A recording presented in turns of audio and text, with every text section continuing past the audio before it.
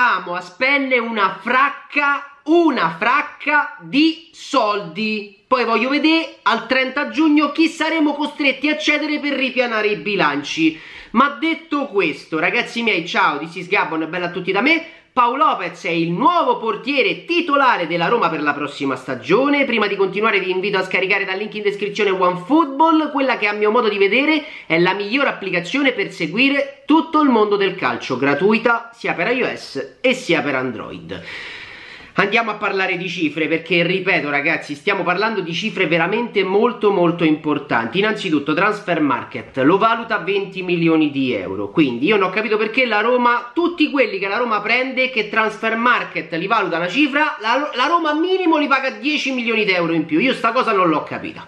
Er Napoli prende Manolas, vabbè c'aveva la clausola, 34 milioni, vai a guardare, vale 45. Ma a parte questo, allora Paolo Lopez sicuramente è un portiere sembrerebbe essere affidabile perché poi dal momento in cui passa da una squadra e arriva alla Roma la sindrome de Goicoechea potrebbe colpire veramente chiunque. Quindi Zonzi è un nuovo giocatore della Roma, godiamo a spruzzo di qua e di là, pepe, pepe, pepe, a Siviglia, vince l'Europa League, se strippla la gente arriva a Roma e diventa praticamente un attaccapanni. Ecco, quindi una grattata di palle e parliamo del portiere.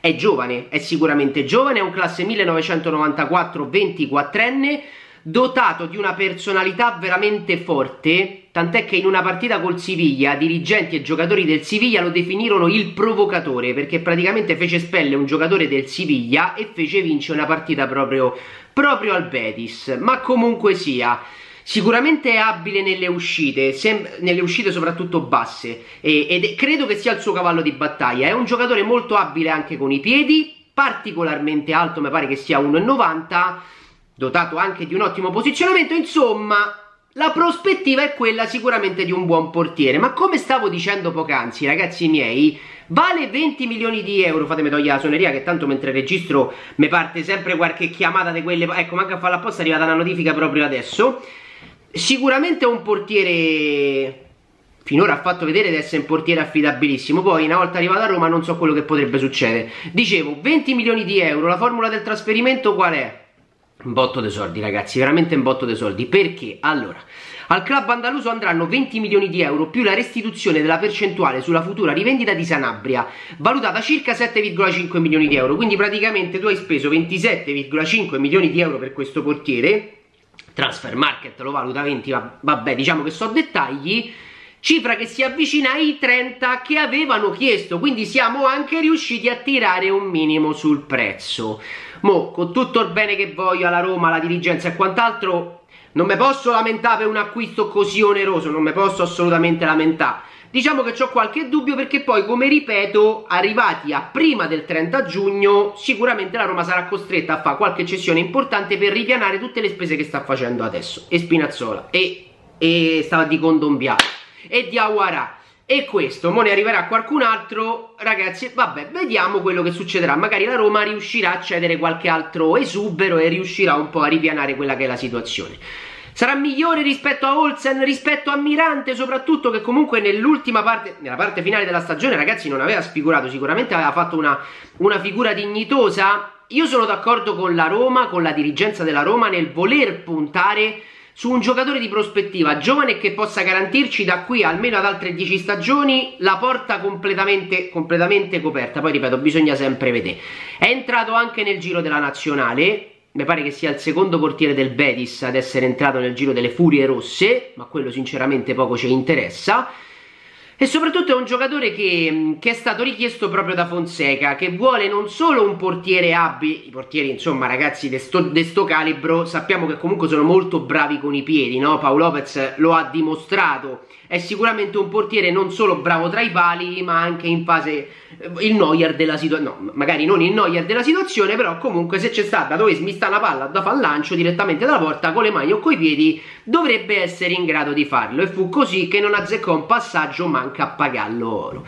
Quindi il carissimo Paolo Lopez, ovviamente nazionalità spagnola, buono coi piedi, quello stavo dicendo, nazionalità spagnola, è sinistro, portieri sinistri, tira le punizioni, cioè fai gol sotto l'incrocio, non ci serve, per quello diciamo che dobbiamo correre ai ripari e c'è, eh, ah, è 1,89 non è 1,90 vabbè per un centimetro quel centimetro non lo so sarà decisivo per non parare il calcio di rigore in finale di Champions League che non ci stiamo, in finale d'Europa League, vabbè.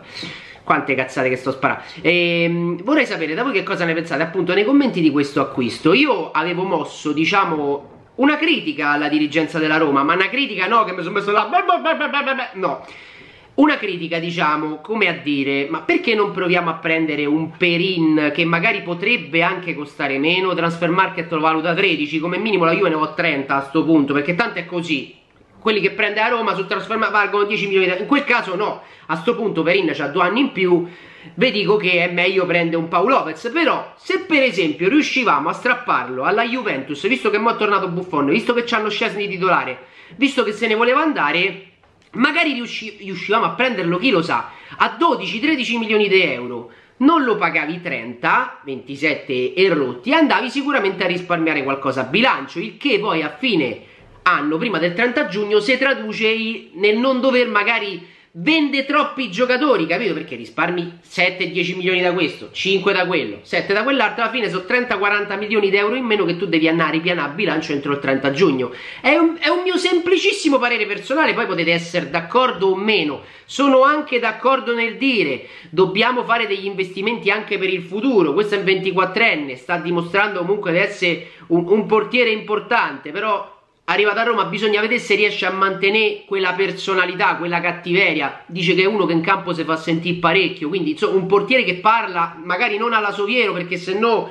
eh, ricorderemo tutti quello che disse Soviero, ah, trina, insomma a quei livelli è meglio di no perché potrebbe creare problemi diciamo all'interno de dell'organico, del gruppo della... però insomma dovesse essere un portiere che, che si fa sentire a me, a me può solo che far piacere anche perché abbiamo perso magari un giocatore come Manolas e come De Rossi che in campo si facevano sentire non poco. Però certo questo appena arrivato comincia a dire si è appena arrivato vattene a calma Lasciate un bel mi piace, su questo video arriveranno tanti nuovi contenuti sul mondo del calcio. Commentate col vostro parere, condividete il video se vi va, iscrivetevi al mio canale qualora non lo aveste ancora fatto. Io vi ricordo di scaricare OneFootball dal link in descrizione, applicazione gratuita di riferimento per seguire tutto il mondo del calcio, sia per iOS sia per Android. Seguitemi anche su Instagram e Telegram, tutto in descrizione, almeno mi seguite anche sui profili social. Su Instagram, vabbè, affaracci di vita privata, eh. Su Telegram vi invio le feed dei video perché YouTube, cioè quando pubblico un video ve lo metto su Telegram in modo tale che se YouTube non ve manda la feed scoprirete sempre i miei nuovi contenuti ma vi ricordo di attivare, la campanella perché con la campanella a fianco al tasto iscriviti dovrebbe arrivarvi teoricamente sempre la feed a voi la parola nei commenti sondaggio in alto a destra Paolo Lopez secondo voi è il giusto rinforzo per la Roma? ma non l'abbiamo pagato tanto secondo voi? secondo me sì lo abbiamo pagato veramente una cifra troppo boh, troppo impo... Non lo so, non lo so, fatemi sapere voi perché ripeto io con queste situazioni di calciomercato, con questi valori di mercato ci sto a capire veramente ben poco perché comunque ci sta scritto 20, porca mignone vanno 30, vabbè giovane, di prospettiva, affancuori alla prossima con un nuovo video che è meglio, va, ciao